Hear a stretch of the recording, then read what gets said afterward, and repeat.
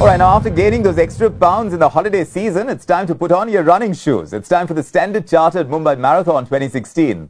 It's an event that's come to be marked on the calendars of not just athletes, but uh, brand managers as well. The Mumbai Marathon has seen so many brands using uh, innovative ways to catch the attention of consumers for more than a decade now. For instance, you might remember in 2013, Fevicol had come up with a brand activation where a bunch of runners wearing uh, Fevicol branded t-shirts were seen glued to the ground even as thousands of runners made their way past them. The sight of these runners uh, doing slow stationary jogging, some intense, others just pretending to enjoy the run, it really grabbed a lot of eyeballs. So is this year's edition shaping up to be a bigger brand extravaganza than ever before? We're finding out in our top story this week.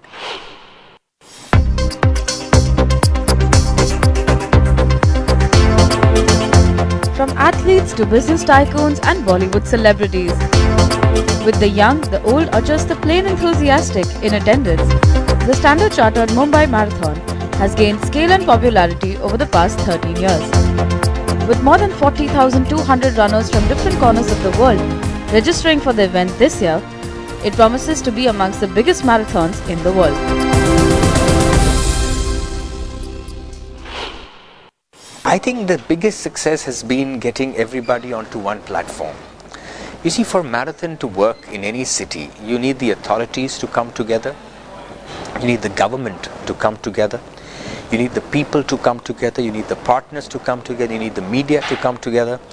And when everything comes together, it actually makes a statement. So if you ask us, I think the biggest achievement of the Mumbai Marathon is it's got all stakeholders to align to a certain vision. The fact that all the profits from the event go to charitable organizations is also a huge draw for participants and celebrities. For instance, John Abraham has been the official brand ambassador for the marathon for over a decade. Ironically, the actor who's known for being a fitness freak is not even allowed to run in the marathon. I tried in the first four or five years. I kept speaking to Anil Singh and Vivek Singh. I said, "Listen, I need to run. I need to run." And they're like, "No, no, no. You know, you need to perform these duties and you need to stay in here." Uh, but uh, the Standard Chartered Mumbai Marathon is very special. Um, it's something that I give credit to Procam for. Um, just when in the first year, when people thought that it was impossible to see Indians run on the road, it was like alien that you actually want to make people run today it's become a world event. I, I, would say that the Standard Chartered Mumbai Marathon is uh, amongst the top four marathons in the world today. It's a gold label marathon. Um, it's uh, it's it's probably up there. Not probably, it is up there, and it's one of the most coveted marathons where you get champion runners like John Kelai, etc., who come here and win big prizes. Over the years, this marathon, which is now the largest in Asia, has also become a landmark event for brands. For its title sponsor Standard Chartered, which has been associated with the event from its very first edition, this has turned out to be a long and fruitful association. Well, the marathon just goes from strength to strength. I mean, over the last 13 years, it's grown from a relatively small base um, and running as a sport was not that popular 13 years ago across most of India.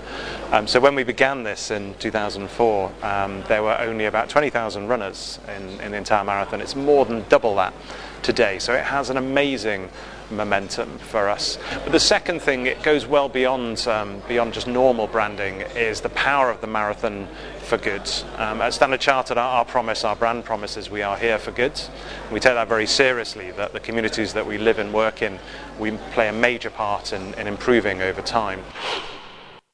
Oh, this year's marathon has actually been a very exciting uh, digital experience uh, and uh, the uh, I think the leading uh, pack on leading the pack on that is the hashtag Run for a Reason, wherein people have fed in uh, their individual reasons to run. So there are some people who do it for their individual uh, achievement. There are others who do it for the community. There are the third type who actually do it just as a uh, you know as a set of people to achieve something. So um, this is something which is running right now on Twitter. The uh, other very very interesting initiative is actually the virtual marathon. This is the first time that it's been done in India by anybody. So this is a 360 degree immersive feel uh, which we've created with a technology called Oculus Rift.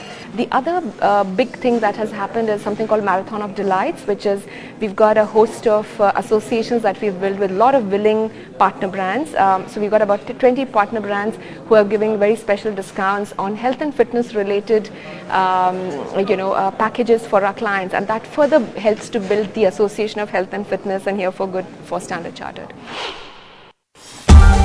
Apart from title sponsors, companies like TCS are also taking up prominent sponsorships. In fact, while the SCMM has sparked off a trend, with over 200 such marathons being organized all over India, TCS has been actively involved in similar events across the world for some time now. And this year round, it's integrating its brand at a deeper level for this edition of the Standard Chartered Mumbai Marathon.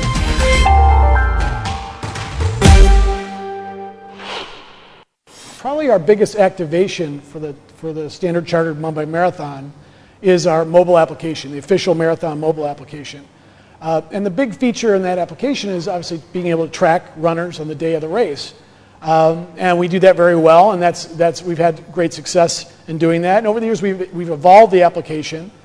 Um, the big addition to the application this year is an ability to track your training. Um, in addition to the app, another activation uh, uh, that's important to us, I mean, we also have some of our employees not only participating in running in the event, but also helping post-race. About 60 volunteers will be helping to clean up post-race. Uh, so getting in and, and you know, helping clean up the city after the race, which is a unique aspect of the partnership with the, with the marathon.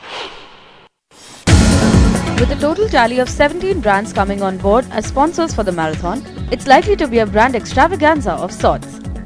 Brands across the board are trying to leverage this platform and create a partnership that could be scaled up in the future.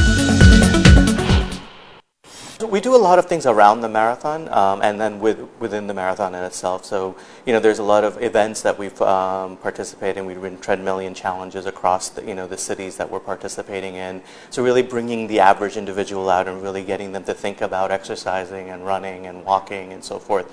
Um, within the marathon in itself, you know, we have cheering sections, we have our employees participating, we invite our customers to participate, uh, our distribution partners. So we really want to engage the entire ecosystem that we work in. Um, we think there's a tremendous amount of opportunity. Um, you know, runners themselves have special needs um, as they're training and so forth. And we've talked about many ideas around how we can actually bring that to life for the runners. Um, and beyond that, you know, really, you know, how, what kind of products and services do we bring to life